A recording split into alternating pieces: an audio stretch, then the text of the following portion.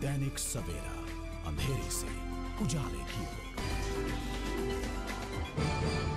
पाकिस्तान के पेशावर में किए गए आतंकी हमले में मारे गए 138 बच्चों को श्रद्धांजलि देने के लिए जलंधर की विभिन्न जत्थेबंदियों द्वारा 30 दिसंबर को कैंडल मार्च और कीर्तन समागम करवाया जा रहा है। ये जानकारी जलंधर प्रेस क्लब में अभय सिंह आत्म प्रकाश सिंह बबलू, जसप्रीत सिंह राणा ने एक विशेष प्रेस वार्ता के दौरान दी। इस दौरान उपस्थित सोसाइटी के सदस्यों ने बताया कि इस अवसर पर महामंडलेश्वर स्वामी शांतानंद जी महंत बाबा प्रितपाल सिंह संत निर्मल दास जी भाई गुरुदेव सिंह भाई प्यारा सिंह भगवान सिंह जौहल डॉक्टर फ्रैंको मुलक्कल सहित अन्य गणमान्य उपस्थित होकर उन सभी शहीद बच्चों को श्रद्धांजलि भेंट करेंगे ਅੱਜ ਅਸੀਂ ਸਾਰੇ ਇੱਥੇ ਇਕੱਠ ਹੋਏ ਹਾਂ ਜੀ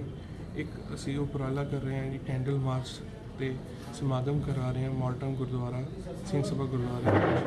ਵਿੱਚ। ਇਸ ਕੈਂਡਲ ਆਵਾਜ਼ ਦਾ ਸਾਡਾ ਵਿਸ਼ਾ ਮੇਨ ਹੈਗਾ ਜੀ, ਜਿਹੜੇ ਪਾਕਿਸਤਾਨ ਵਿੱਚ ਛੋਟੇ ਬੱਚਿਆਂ ਨੂੰ ਮਾਰਿਆ ਗਿਆ, ਉਹਨਾਂ ਦੀ ਅਰਦਾ, ਅੰਤਿਮ ਅਰਦਾਸ ਲਈ ਅਸੀਂ ਇੱਕ ਸ਼ਾਂਤੀਪੂਰਵਕ ਅਰਦਾਸ ਗੁਰਦੁਆਰੇ ਵਿੱਚ ਕਰਾ ਕੇ ਗੁਰੂ ਦਾ ਲੰਗਰ ਅਟੁੱਟ ਵਰਤੇਗਾ ਜੀ ਜਿਹੜਾ ਕਿ ਜੰਮੂ ਕਸ਼ਮੀਰ ਵਿੱਚ ਫਲੱਡ ਆਏ ਨੇ, ਉਹਨਾਂ ਦੀ ਸ਼ਾਂਤੀ ਲਈ ਖਾਸੀ ਅਰਦਾਸ ਕਰਾ ਰਹੇ ਹਾਂ। 2014 ਜਿਹੜਾ ਸਾਡੇ ਲਈ ਬਹੁਤ ਹੀ ਦੁਖਦਾਈ ਪ੍ਰਕਾਰ ਕੀਤਾ ਗਿਆ ਇੱਕ ਨੋਬਲ ਕਾਜ਼ ਦੇ ਕਾਰਨ ਅਸੀਂ ਇਸ ਚੀਜ਼ ਨੂੰ ਕਰ ਰਹੇ ਹਾਂ ਤੇ ਅਸੀਂ, ਮੈਂ ਚਾਹੁੰਦਾ ਕਿ ਸਾਡੇ ਪੂਰੇ ਜਲੰਧਰ ਵਾਸੀ ਇਸ ਵਿੱਚ ਸ਼ਾਮਿਲ ਹੋਣ,